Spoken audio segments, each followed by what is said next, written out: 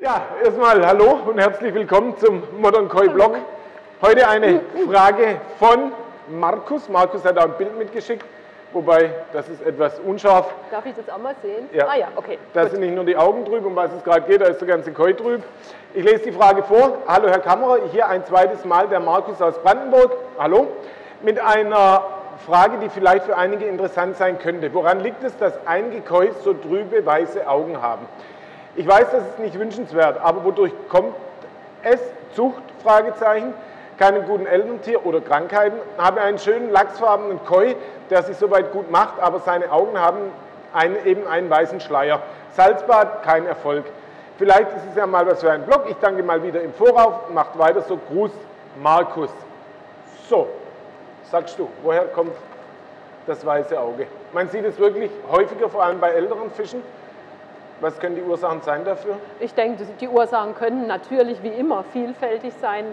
Selbstverständlich können Parasiten mal eine Rolle spielen, die zu so einer lokalen ähm, Schleimhauttrübung bzw. Hornhauttrübung führen. Also die Ich hab- Parasiten können auch auf die Hornhaut gehen. Ja, ich habe zum Beispiel schon bei solchen Fischen massenweise Gyrodactylus ausgerechnet nur auf dem Auge gefunden. Das ist aber dann ein Zustand, der normalerweise einseitig und nicht beidseitig ist.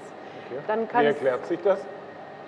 Diese Gyrodactylusse sind ja lebend gebärend. Wir haben ja den Mikroskopierkurs gemacht. Genau. Und das ist irgendwo verständlich, wenn da so ein Junger geboren wird, dann bleibt er unter Umständen einfach neben Mutter, Vater, das sind ja Zwitter, und der nächste auch. Und dann hat man manchmal solche Nester von Gyrodactylus, die sich da eben gerade am wohlsten fühlen. Und schlägt eine klassische Behandlung, schlägt die da an, wenn es auf der Hornhaut sitzt?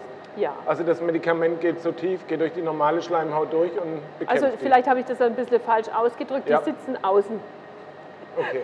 Also sie sitzen nicht im Auge in der Hornhaut, Sondern sondern der tatsächlich wie auf der Schleimhaut auch eben bloß Jetzt auf muss ich blöd Auge. fragen, verzeihen Sie bitte.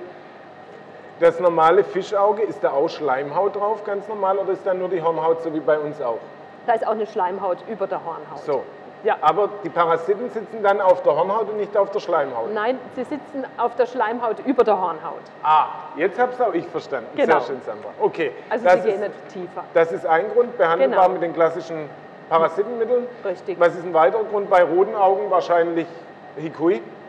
Klassisch. Natürlich, sicher, wenn das Rot übers Auge wächst, das gibt es auf jeden Fall auch, aber das sieht dann nicht so trüb aus, sondern das ist dann So wirklich gelb.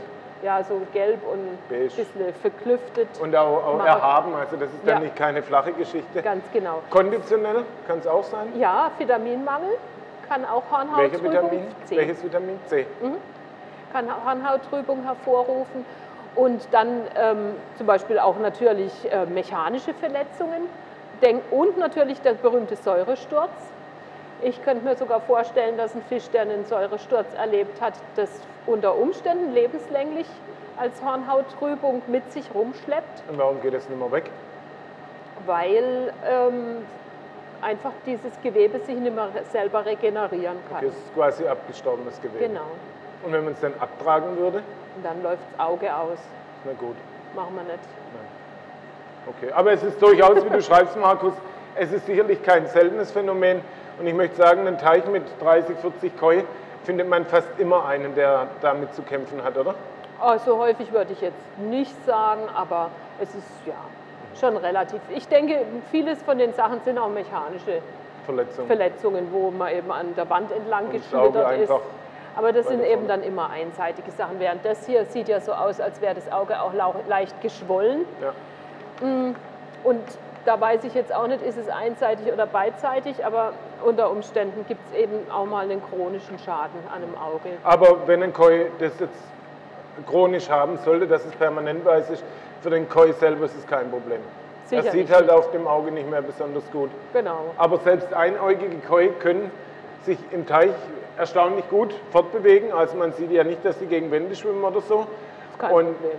Ja, und fressen ganz normal. Also das haben sie drauf. Also Markus, vielen Dank für deine Frage. Mach's gut und bis zum nächsten Blog. Ciao. Tschüss.